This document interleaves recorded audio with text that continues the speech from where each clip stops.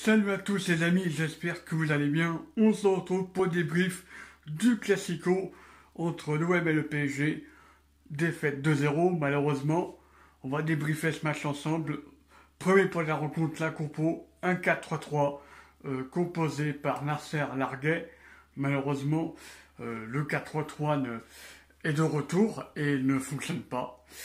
Comme d'habitude, ça n'a pas fonctionné avec euh, Rudy Garcia, ça n'a pas fonctionné avec euh, André Villas-Boas. Pourquoi ça fonctionnerait avec Nasser Larguet? Franchement, moi dans, les buts, alors euh, Mandanda, il a, sur les deux buts, il est, il est fautif. Euh, franchement, les deux buts, il aurait pu les arrêter s'il était à son prime. Mais là, euh, c'est devenu un gardien lambda depuis euh, les buts qu'il se prend, depuis euh, les défaites qu'on prend. Il est devenu un gardien lambda. je, je garderai quand même l'an prochain parce que c'est quand même un symbole de l'Olympique de Marseille.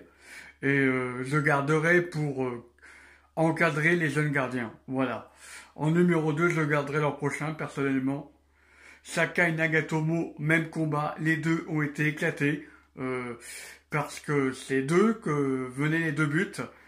Premier but, Mbappé qui course euh, grâce à une passe D de Di Maria, qui te fait une course de 36 km heure. Euh, Pioum, il a filé, il a fait de tout droit, but, voilà. Et ça coule de Sakai. Quel euh, il n'a pas couvert euh, Icardi et euh, Nagatomo, même combat que Sakai, euh, il s'est fait prendre de vitesse par Di Maria, par Florenzi, par Sarabia. Franchement, euh, Nagatomo, c'est le pire latéral qu'on a à l'OM. C'est le pire de toute l'histoire de l'OM. J'ai jamais vu un, latéral aussi nul. Et le pire, c'est que il, il a plus de 35 ans maintenant on recrute un trentenaire qui est proche de la retraite. Là, euh, avec un salaire mirobolant, encore une fois, euh, quand il va partir, euh, et je le souhaite qu'il parte. Alvaro, il a fait un beau match pour ma part, même si il a eu un problème avec Neymar, encore une fois. Non mais c'est un truc de ouf. À Sacré-Sico, quand il va ça va être ça, euh, un clash entre Neymar et, Alvaro. Euh, ça sera inévitable euh, pour le prochain Classico, pour la prochaine saison, ça, ça va être inévitable. C'est sauf si Alvaro ou Neymar part, mais voilà, je, je vous le dis tout de suite, attendez-vous à ce que y ait de, que la guerre continue entre les deux. Attendez-vous à ça. Il a fait un bon match, il a fait des belles relances. Il a été disponible, il a beaucoup aidé euh, en défense parce que les trois euh, que j'ai cités auparavant, ils étaient totalement à la rue. Alors, la part Gay, Camara, je les mets dans les tops.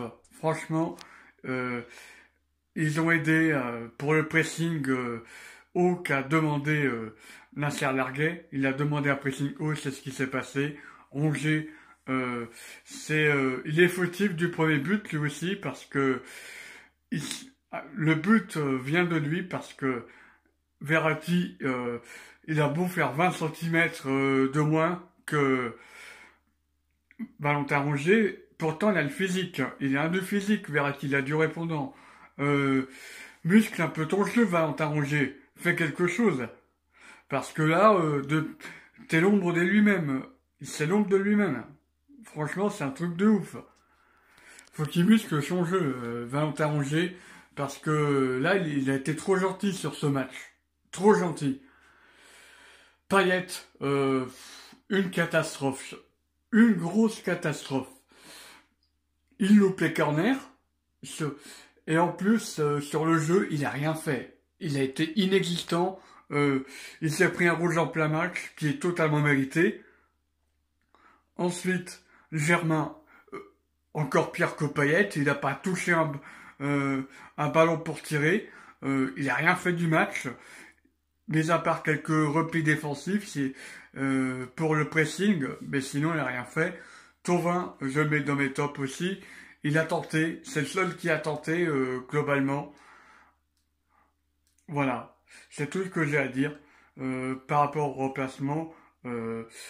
Enrique a fait un bon match pour ma part. Kawi aussi, il a dépanné Nagatomo. Euh, Cuisance, il n'a rien apporté. Benedetto non plus. Euh, mauvaise entrée de Benedetto et Cuisance. Personnellement, j'aurais remplacé Rongier par Benedetto. Comme ça, tu aurais un changement, un changement d'économiser. Et j'aurais remplacé euh, Payette euh, par Enrique, qui a fait une belle rentrée pour ma part. Voilà.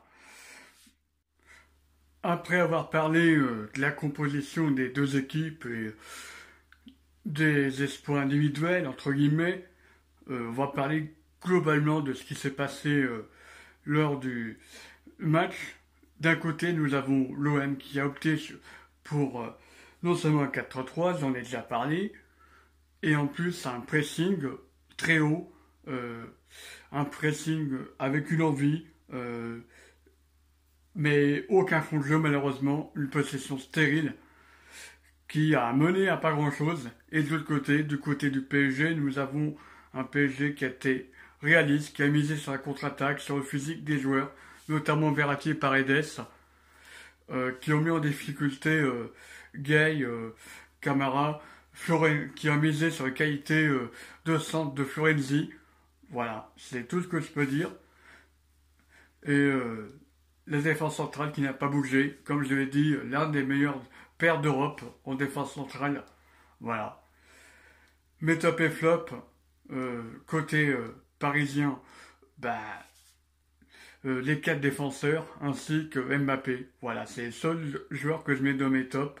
Côté PSG, côté Marseille, Camara, Gay, c'est les seuls joueurs que je mets en top, en plus de Tovin.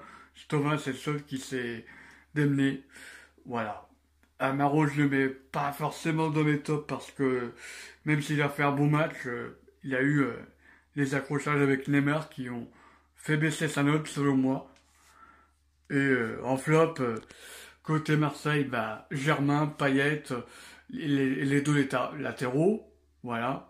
Ainsi que Mandanda, je mets, je mets dans mes tops ces cinq là, dans mes euh, enfin de mes flops, pardon, et euh, allez, Sarabia et Di Maria du côté du PSG euh, par rapport au flop, voilà. C'était tout pour ce débrief. Prenez soin de vous les amis, c'était un talk, c'est ciao tout le monde.